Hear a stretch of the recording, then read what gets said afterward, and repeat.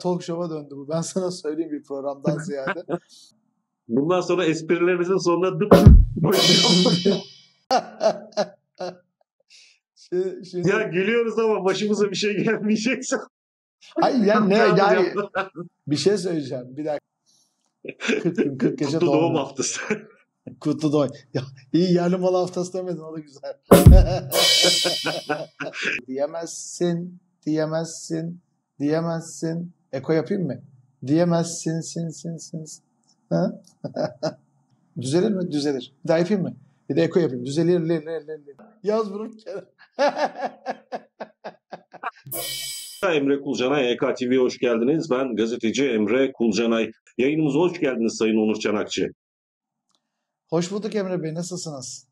İyiyim, teşekkürler. Siz de iyisiniz. Teşekkür ediyorum. Sağ olun. Doğum gününüz kutlu olsun. 40 gün 40 gece kutlayacağım.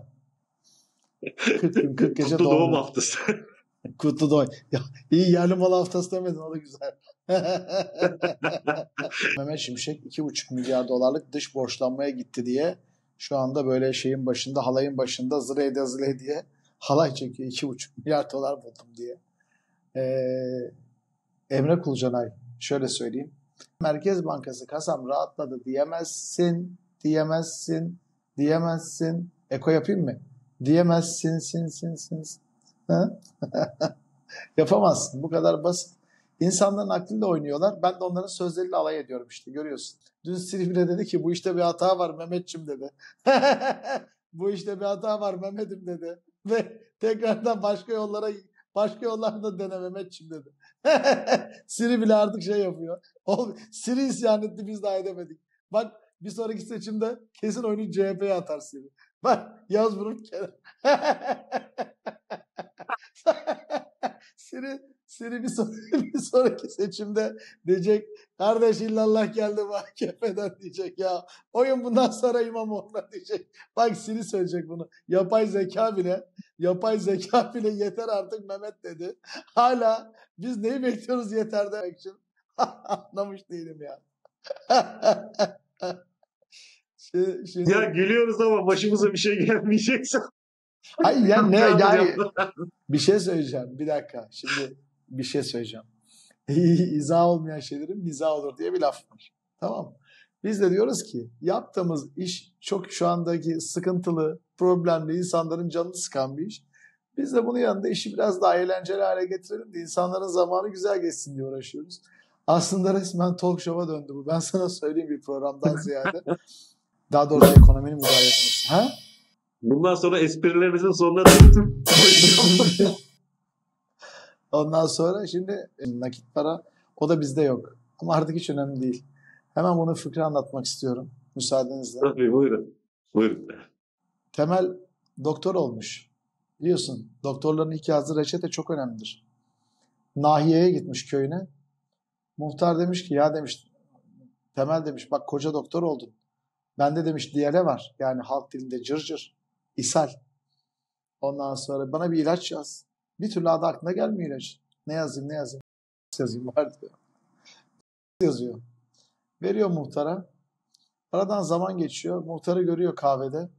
Nasıl diyor ilaç iyi geldi mi diyor. Ya en nihayetinde diyor ishaldir diyor. Bir gün geçmese yarına geçer diyor yani. Temel öyle düşünüyor. Muhtarı görüyor diyor ki Muhtar emmi muhtar emmi diyor. Nasılsın diyor. Oo doktor bey hoş geldin. Bak sana koca doktor diyoruz. Temel büyümüş doktor oldu diyor. İyi geldi mi ilaç diyor. Faydasını gördün mü? Şey kesildi mi diyor. İshal kesildi mi? Vallahi kesilmedi. Ortalığı götürüyor ama hiç kafaya takmıyorum artık diyor. Tamam mı? Şimdi bizimki de öyle hesap. Yani işi artık deliliğe vurduk. Farkındayız. Bak hiç var mı? Bütçe ayağını, yorganın ayağına göre uzatma var mı? Ayağını yorganına göre uzatma. Böyle bir şey yok yani. Sürekli olarak ayak dışarıda kalıyor. Allah'tan mendil de örtüyoruz da açıkta kalmasında yanlış bir şey düşünmeyelim diye. Ondan sonra onun için de şu andaki mevcut düzene baktığımızda ya arkadaş Amerikan enflasyonuna bağlı. Yan biz Türk'üz. İşi yaptırdığımız Türk, yaptırdığımız iş Türkiye'de. Biz niye Amerikan enflasyonuna bağlı? Niye döviz garantisi veriyoruz kıymetli kardeşlerim? Niye bunu yapıyoruz? Amaç nedir? Yani böyle bir şey var mı? Mümin kardeşlerim. Neden? Ama işte Mehmet Peki Şimşek o herkesin yolu bir şekilde mutlaka geçmiştir. Vergi dairesinden. Gidersin böyle herkesin arkasında ayı bağırıyordur sırada. Böyle içerisi tamam mı? Bir bakarsın arkada 2-3 tane grup var. Onlar sohbet ediyorlar. Ha ha iyi. 10 kişinin yapacağı işi 15-20 kişi yaptırmaya çalışıyorlar. Büyük başkan açıklama yaptı. Dedi ki bizim böyle bir sepetimiz yok dedi. Kırmızı başlıklı sepeti kaybettik amca biz dedi mahkemede. Tamam mı? Bizim sepetimiz hiç olmadı amca dedi. Sonra diyor ki sepetten diyor cımbızla diyor maddeleri almışlar. Ulan hani sepet yoktu? Hani sepet yoktu kardeşim? Ne oldu? K- şey kurt sepeti mi getirdi kırmızı başlık sepetini? Ne oldu? İşte aram düzelir mi? Düzelir. Düzelir mi? Düzelir. Bir daha yapayım mı? Bir de eko yapayım. Düzelir, lir, lir, lir, lir. Ama nasıl? Bunlarla değil. Hani ayakta tedavi ediyorsunuz. Sonrasında da böyle iğne yaptıktan sonra böyle keşkül titretmesi yaparlar ya. Onun gibi şu anda o, o aşamadayız yani. Tamam mı? Ne oldu? Keskin titretmeseydim keşke ya. Hayır, titretme. Hayır söyleseydin de niye elimle gösterdim onu da anlamadım. Evet, sen orasını kesersin. Ya da, kes, ya da kesmezsin. Niye kesiyorsun? Ondan sonra Tamam. devam et. Devam ediyorum.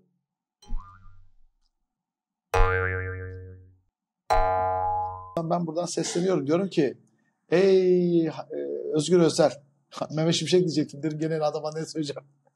Ey Özgür Özel sen ana muhalefet partisi liderisin. Sen boş ver ışık kapatma açma eylemlerini. Sen ne yap biliyor musun? Topla arkana kitleni. Git önüne- önüne. De ki ey TÜİK ben geldim. Bana işte örnek veriyorum ne kadar diyor sepette zeytinyağı 116 lira. Herkes 116 lirasını hazırladı bize birer litre zeytinyağı ver. Diyebiliyor musun? Diyemezsin. Veya bak bu insanlar ev tutacak. Bu insanlara 6 bin liraya bir daire bulabilir misin? Veya şu amca şu teyzenin kolu ağrıyormuş. Onu 34 liraya bir doktora götür de bir muayene olsun. Diyebiliyor musunuz? Diyemiyorsunuz. Yap bunu. Özgür Özel yap. Bir şekilde herkesin gözüne gözüne sokması lazım. Lan biz burada Suriye'nin adamlarına bakıyoruz. Suriye'den patates ithal ediyoruz. E biz patates olmuşuz demek ki. Bu kadar basit yani. Şimdi Maalesef. işi biraz esprili bir şekilde anlatmaya çalıştık ama ülkenin durumu bu hali bu.